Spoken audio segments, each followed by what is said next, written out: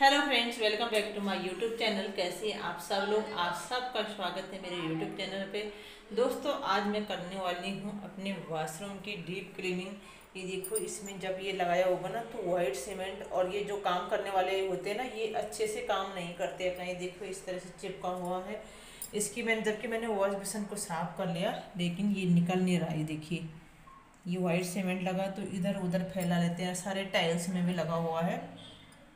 तो इसको मैं अभी क्लीन करने वाली हूँ। और और भी बहुत सारी जगह ना लगा हुआ है, क्योंकि मैं हमेशा इसको बड़ा बड़ा थोड़ा मोटा मोटा जल्दबाजी में साफ़ करती हूँ और अच्छे से क्लीन नहीं करती हूँ। परसों मैंने नीचे वाला किया था ये फर्श इसका तो ये भी बहुत काला हो रखा था। टॉयलेट सीट की चारों तरफ़ ये सीमेंट लगा हुआ था काला काला सा। तो काफ़ी हद तक अब साफ़ हो गया है, लेकिन अभी कुछ बचा खुचा है, इसको मैं साफ़ करूँगी। तो देख लेती हूँ कि ये निकल नहीं रहा है। इस तरफ़ पे देखो मैंने, इस तरफ़ पे सर्फ लगा के या क्या बोलते इसको? टॉयलेट क्लीनर हार्पिक होता। इससे मैंने हर चीज़ से आजमा लिया, लेकिन नहीं साफ़ हो रहा है। तो अभी मैं इसकी सहायता से इसको निकाल लेती हूँ। और टाइम बहुत हो गया है, लगभग दस, साढ़े दस का हो गया होगा। अभी तक मैं नहाई नहीं। घर के जो काम होते हैं ना, ये पूरे ही नहीं होते हैं।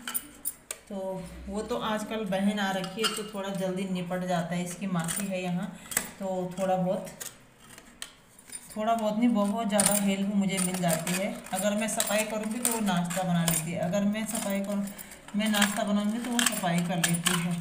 आधा से ज़्यादा काम वो ही मेरा कर लेती है, जबकि उसकी तबीयत भी ठीक नहीं है, फिर भी वो लगी रहती है काम में। तो ये होता है बहन का, वो सोचती है कि दीदी लगी रहेगी काम में। तो मैं मना भी करती हूँ, फिर भी वो लगी रहती है काम में। तो फटाफट करके अब मैं सर्फ से इसको साफ़ करूँगी।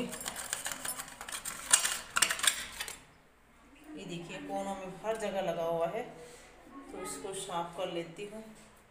देखिए, ये भी जो पानी वाले होते हैं ना, फवारा छेद, इसमें भी पानी में मिट्टी से आते हैं तो ये भी बंद हो जाता है। इसको मैं भी निकाल करके, खोल करके इसको भी साफ़ करूँगी। पानी का जो वो होता है ना, फोर्स होता है, वो कम हो जाता है अगर इसमें मिट्टी लग जाए तो। तो चलिए, फटाफट कर लेती हूँ उसको साफ़। कहाँ से शुरू करूँ, कुछ समझ में नहीं आता है।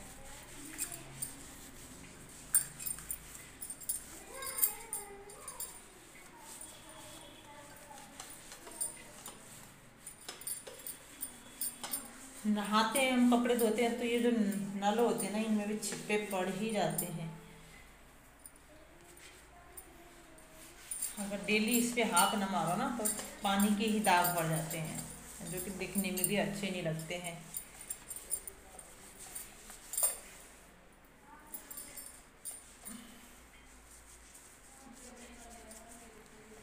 तेरे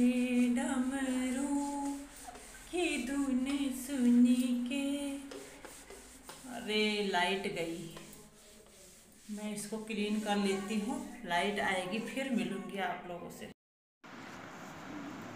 तो गई यहाँ पे मैंने बाथरूम की क्लीनिंग शुरू कर ली थी। मैंने सोचा नहाने से पहले मैं फटाफट बाथरूम साफ़ कर लेती हूँ। हर दो चार दिन या चार पाँच दिन में बाथरूम की अच्छी तरह से डीप क्लीनिंग ना करो। ना जब नहाते हैं या कपड़े धुलते हैं तो इधर उधर टाइल्स पे छिपे छिपे और जो ये हमारे टैप होते हैं, इनमें भी पानी के भी दाग पड़ जाते हैं। तो मैंने सोचा नहाने से पहले मैं एक बार अच्छी तरह से क्लीनिंग कर लूँ। अभी पाँच छः दिन पहले मैंने डीप क्लीनिंग की थी, फिर ऐसे ही हो जाता है। तो पहले मैंने अपना सबसे पहले टॉयलेट क्लीन कर लिया है। उसके बाद मैं, ये जो वॉल की टाइल्स हैं, इन पे फटाफट करके सर्फ मैंने रखा है। यहाँ पे नीचे में जो दिख रहा है, ये कप, बर्तन धोने का जो स्क्रब होता है ना, ये पुराना हो जाता तो मैं इसे किचन की टाइल्स या जैसे वॉश बेसन, सिंक हुआ इसको साफ़ करने के लिए मैं रख लेती हूँ।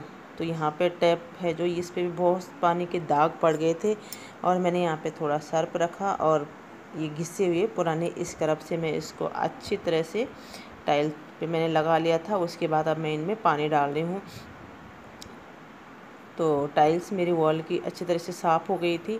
बीच में लाइट चली गई थी, फिर मैंने वीडियो नहीं बनाई। अब जाके मैं फ्लोर के टाइल्स साफ़ कर रही हूँ।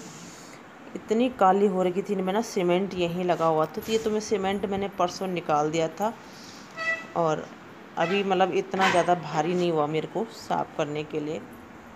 तो फटाफट करके मैं इसको साफ़ कर लेती हूँ। और मैंने गलती से, मुझे पता नहीं था इस पर सावर ऑन है, मेरे बाल इसलिए भीगे बच्चे नहाए होंगे, उन्होंने सावर ऑन किया और जैसे मैंने नल खोला, सारा पानी मेरे सिर में गिरा, इसलिए मेरे बाल ऐसे गीले हो रखे हैं, लेकिन मैं अभी नहाई नहीं हूँ। अच्छी तरह से क्लीनिंग कर लूँगी। उसके बाद नहाऊँगी। तो अभी देखिए एकदम साफ़ हो गया है। जैसे आज सफ़ाई करो तो आज साफ़ दिखेगा, फिर एक दो दिन बाद ना फिर वैसे ही हो जाता है। और ख़ास तौर से घर में छोटे बच्चे हैं, कितना ही बोलो सफ़ाई नहीं करते हैं।